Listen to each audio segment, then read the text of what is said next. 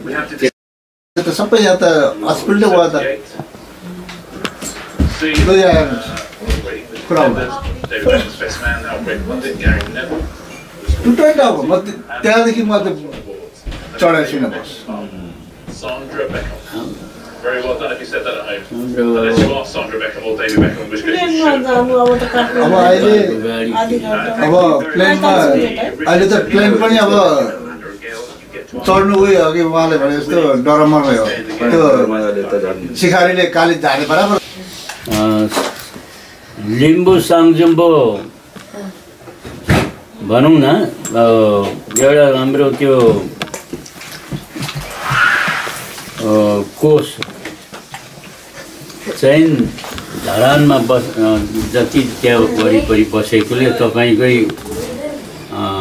उसबाट भनौँ न अहिले मेन्सियम ब्याङ्कमा राखेको छौँ। त्यो त्यसमा पनि अब अध्यक्ष चाहिँ हाम्रो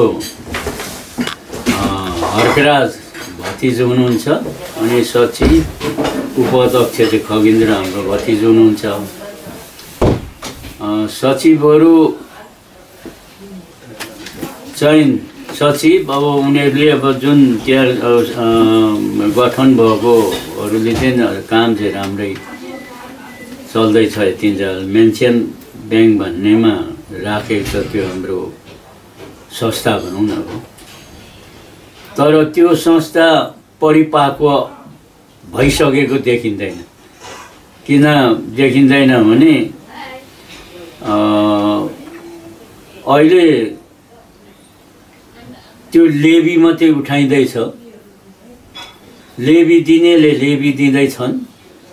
नदिनेले अब कहिले दिने हुन्? त्यस्तै छ। अब दिनेले दिइरहेछ नदिनेले नदिएको छैन र अलिक फस्टिएको छैन। त्यो बिचमा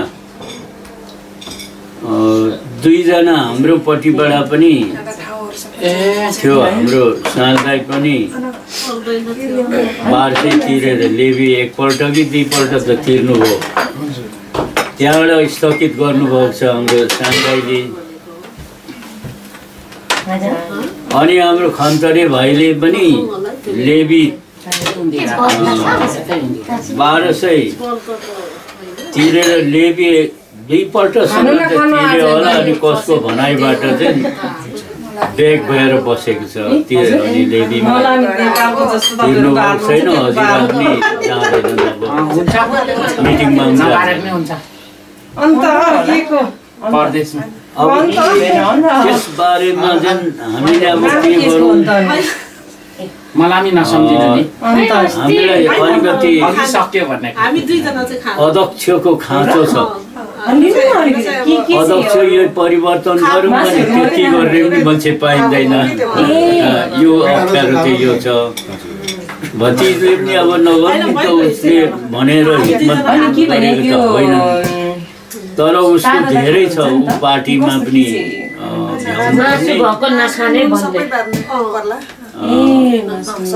त्यो पार्टीमा ए भ्याउनु पर्ने ले गर्दाखेरि अलिकति हाम्रो जुन कोचको बैठकहरू उसो भने अब सेल रोटी मात्रै। त्यो कोचको बैठक चाहिँ छ्यामा बस्नु त अलिकति ढिलो हुँदैछ। र अब त्यो चाहिँ थाहै गर्नुलाई एउटा अध्यक्ष चाहिँ हामीलाई अलिकति राम्रो सक्रिय चाहिँ चाहियो। त्यो चाहिँ अब हजुरहरू दाजुभाइपट्टि नै अध्यक्ष चाहिँ होस् भन्ने किन जनसङ्ख्या बढी वंश बढी भएकोले यता हामी हामी नै अध्यक्ष अहिले बनाउँदाखेरि मान्छे नै चिनेको छैन। चिन्नु पनि आवश्यकता छ। हाम्रो जुन खगेन्द्र उपमै रहोस् एउटा अध्यक्ष चाहिँ अब हाम्रो काकाले तल एउटा इटारीमा छ भन्नुहुन्छ म उहाँलाई मैले राम्रो चिनिसकेको छु। कस्तो अँ, काकाले चिन्नुहुन्छ मलाई चिन् त चिन्छ म। तपाईँले पनि चिन्नुहुन्छ चिन्नुहुन्छ त्यो पोहोर देउसी खेल्दाखेरि दुईजना मात्रै आएर बसेको थियो नि को उदय अँ, अँ, अँ। त्यो एउटा चाहिँ हो। अब उहाँलाई चाहिँ अध्यक्ष अध्यक्ष दिनुको लागि अलिकति देब्रे करेज परेको हुनाले तपाईँहरू कहिले आ आउनुहुन्छ? मेरो चाहिँ अनुरोध है। अब तपाईँहरू फ्याङ्गै बोल्नु पर्यो नि त। नभए उता ऊ पनि अलिक टेढो हुन्छ। त्यो भति त्यो टेढो नबनाउनुको लागि तपाईँहरूबाट चाहियो कुरो नि। अब म भनौँला अब मेरो पनि भतिजो हो। तिम्रो पार्टीले गर्दाखेरि भ्याएन भनौँ भने अब एक्कासी तापजङ्गे काकाहरूले मलाई चाहिँ निकाल्यो भनेर रिसाउँछन् होइन। तपाईँहरू नै आएर चाहिँ फ्याट्टै त्यो कुरा राखेर चाहिँ उसलाई बनाइदिनु भयो भने चाहिँ हाम्रो जुन एउटा दुनियाँले चाहिँ पैसा खुवाउँदै त्यहाँ गएर हामीले पार्टी गराउनु भन्दा हामी आफै एउटा गर्नु सकिन्छ कि भन्ने मेरो अनुरोध हो तपाईँहरू। अब हङकङको केटाहरू अनि यहाँ अब काकाहरू भतिजहरू तपाईँहरू हुनुहुन्छ। हामी पनि छौँ। अब तपाईँहरूलाई मात्रै एकोरी लाउनु पनि मिल्दैन। हामी नै एक दुई महिनाको बरु खाली बसौँला। फ्याँक्नु पऱ्यो नि अब। हैस्टे पैस्टेमा र अब खाँदै पनि गरौँ बात पनि गर्दै गरौँ सेली जान्छ र त्यसो गरौँ भन्ने एउटा। एउटा हाम्रो दाई साल दाई र अब कुरा गर्दा मात्रै बुझिन्छ। अँ, साल दाई र हाम्रो भतिजोले अलिकति एउटा हिलो छेप्ने काम गर्दैछन् होइन? त्यसको दबाब चाहिँ यहाँ त दबाब राम्रो छ। उहाँ चाहिँ दबाब छैन। उताको अब हाम्रो अध्यक्ष भनौँ हर्कराजले अलिकति परिचालन गर्नुपर्छ। एक बनाएर चाहिँ उनीहरूलाई पनि दबाब दिनु सक्नु पऱ्यो नि। त्यो त्यो त्यो चाहिँ भएको छैन मसला पुगेको छैन। यहाँ त मसला पुऱ्याइसक्नुभयो एक अब एक भएपछि त्यो एक दुईवटा बिलाएकोहरू त भोलि कहाँ तिनीहरूलाई पनि थाहा छ। त्यो यो कुरो यो सबै थाहा छ त्यो उनीहरू त्यो काम गर्नेहरूलाई पनि थाहा छ फेरि। त्यो थाहा नभएर त्यो काम गरेको चाहिँ होइन र अब एक दिन एक दिन त्यो सोधिएर आउँछ। लागिरहेछ। अब अहिले चाहिँ त्यो कुरामा अब मैले नभन्दा कुरा लुका जस्तो हुन्छ। पहिला चाहिँ यिनीहरूले लरुङ राएर यामफुराई भने अहिले ड्रिङ्क गर्नुहुन्न नि? बियरहरू त्यो खानुहुन्न दाजु मिलेन। राईबाट भनेर चाहिँ मिलेन। र अहिले चाहिँ कुन्जु छोरा। यो थप्दै खानु है अलिअलि। चार भाइ। कुन्जु चापाङको छोरा चार भाइ मध्येमा। जेठा मुन्डुङ्गेहाङ माइला साँदुङ्गेहाङ साइला कनेकहाङ कान्छा कचुहाङ साइला कनेकहाङको छोरा दुई भाइ मध्येमा जेठा हङयुम्बा कान्छा हाङसेम्बा। त्यो उसमा भतिजले ल्याउनु भएको छ भने त्यहाँ पनि छ होला। त्यो चार सय पन्ध्रमा उनीहरूको हाङसेम्बाको पुस्ता चाहिँ आउँछ। चार सय पन्ध्रको चौबिस पुस्तादेखि उधो मात्रै गाँसिनु पर्ने हो त्यहाँ। तर हाम्रो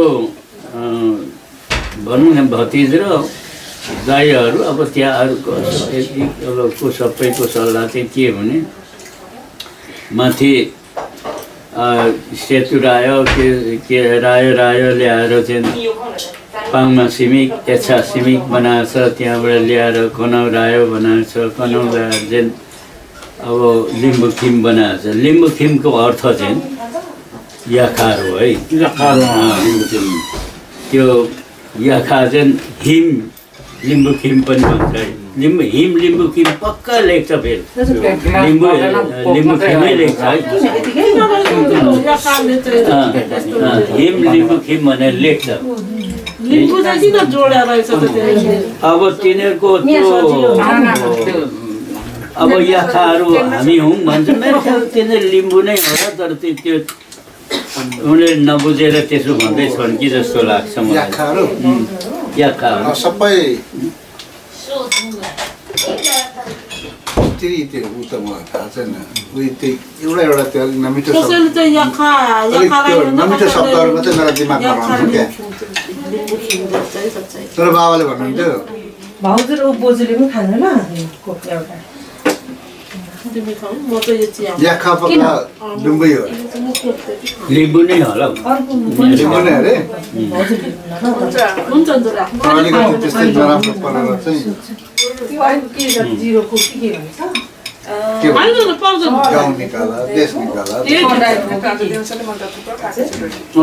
त्यस्तो भएर अनि उनीहरूलाई चाहिँ त्यसरी के भन्छ। त्यो सबै छैन त्यही त नराम्रो शब्दहरू मात्रै मेरो दिमागमा रहन्छ होइन त्यो त काकाले ठिकै भन्नुभयो पनि त्यस्तै हो लिङथेप अँ। लिङथेप पनि मैले सुनेको। लिम्बू नै हो। एउटै दाजुभाइ ए एउटै आमाको सन्तान लिङथेपहरू है। कथा चाहिँ अनि दाजु जिम्मा हुँदाखेरि ऊ राई बन्ने भए चाहिँ दाजु चाहिँ लिम्बू सुब्बा बनियो अँ, तर नाम चाहिँ लिङथेप छ त्यहाँ लिङथेप भनेको हाम्रो मायल दाजुको छु- छोरी जेठी लगेको छ। अनि हाम्रो पहिला फुपूको हाम्रो बाबुको चेली जेठी त्यहाँ लगेको। त्यहाँ लगेर रनपाल भन्ने लुगा जन्मेको ठुलै थियो इन्डियामा भर्ती भएर हल्दार पनि भयो। पछि फेरि घर बनाएर यो घर बनाउनु पनि कोही एउटा ठुलो ऊ छ है अप्ठ्यारो त्यस कारण हामीले घर बनाउनु भन्दा राम्रो सेकमा भन्छ नि। घडेरी चुन्ने अनि अ, पिपहरू पनि अलि हेराउने त्यो फाप्छ फाप्दैन। त्यहाँ नाग नगेनी छ कि या भङ परेको छ कि हामीले घडेरी चाहिँ हेर्नुहुन्छ। बाहुनको पनि बाउले त त्यो धन्द्रो परेकै भए जस्तो घर बनाउँछ होइन। हामीलाई बेच्छ हिँडिहाल्छ। उसलाई के मतलब र मतलब पनि हुँदैन फेरि उसले उसको विधिले त्यस्तैहरू फाप्छ होला। हाम्रो विधिले त्यो फाप्दैन भन्छ। र त्यो भनाइ चाहिँ र अब अहिले चाहिँ हाम्रो दाजुभाइहरूको त्यो त्यही छ है त्यो चार भाइमा कान्छा हामसेम्बामा चाहिँ जोडेर चाहिँ बनाउँछौँ